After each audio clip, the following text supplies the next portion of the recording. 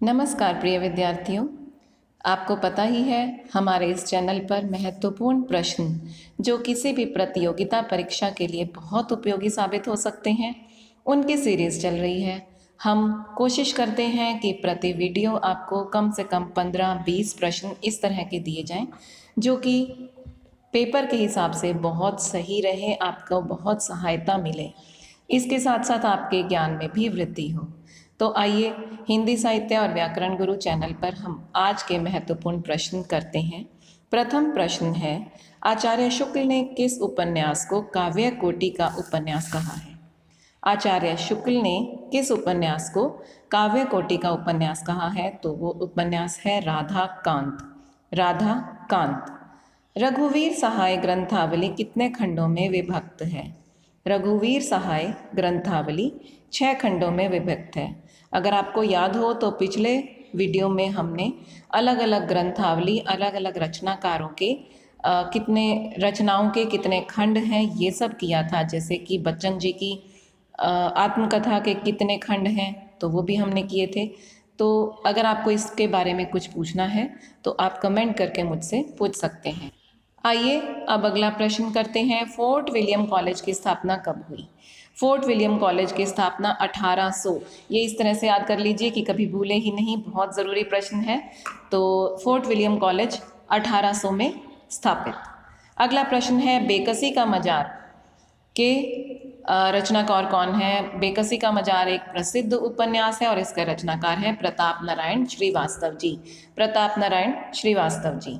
कहानी महाशूद्र के लेखक कौन है? महाशूद्र कहानी जो है, इतनी प्रसिद्ध रही कि उसके बाद से इस प्रकार की कहानियों का एक सीरीज़ सी आने लगी थी।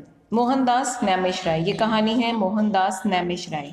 अगला है, खुद को उर्दू और हिंदी का दो आब कहने वाले कवि कौन हैं?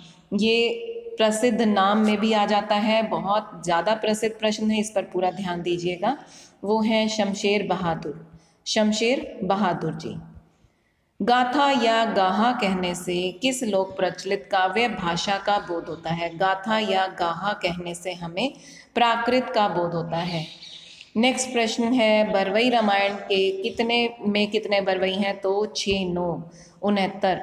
बरवई रामायण में उनहत्तर बरवई हैं। और ये इनकी रामायण रामचरितमानस के समान उतनी प्रसिद्ध नहीं रही, लेकिन फिर भी छोटे के होने के कारण बहुत से लोग इसे पढ़ते हैं। खड़ी बोली का अरबी फारसी रूप क्या है? वो है उर्दी, उर्दू भाषा।